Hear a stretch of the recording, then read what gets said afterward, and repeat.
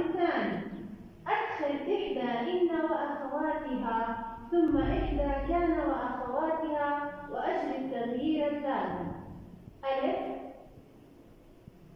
الثمار ناضجة. عند دخول إن على الجملة تصبح إن الثمار ناضجة. فكر طالب العزيز ما الفعل كان لإدخاله على الجملة لتصبح جملة تامة صحيحة. مثلا أصبحت الثمار ناضجة انتبه هنا على الحركات في اسم.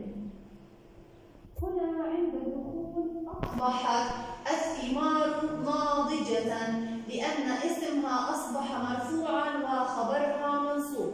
باء المواطنون متعاونون نلاحظ هنا أن دخول لعل وهي إحدى أخوات إن جعلت المبتدأ المرفوع اسمها منصوب وبقي الخبر مرفوعا لأن خبر لعل مرفوع. سأترك لك المجال لإدخال كان أو إحدى أخواتها على الجملة. أضبط أواخر ما تحته خط. ألف. إن الصبر مفتاح الفرج.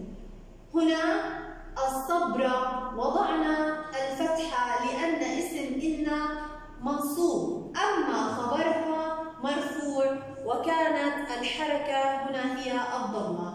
با كانت المدينة مزدحمة.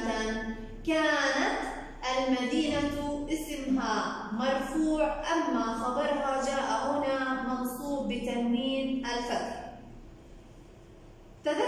عزيزي الطالب الجموع التي درسناها في الفصل الأول. فالمثنى يرفع بالألف وينصب ويجر بالياء. أما جمع المذكر السالم يرفع بالواو وينصب ويجر بالياء. جمع المؤنث السالم يرفع بالضمة وينصب ويجر بالكسرة. وجمع التكسير ويجر بالكسرة ويعامل معاملة الاسم المفرد في الإعراب. نهاية سأترك لك عزيز الطالب مجال لتختبر معلوماتك في سؤال إعراب. أعرف ما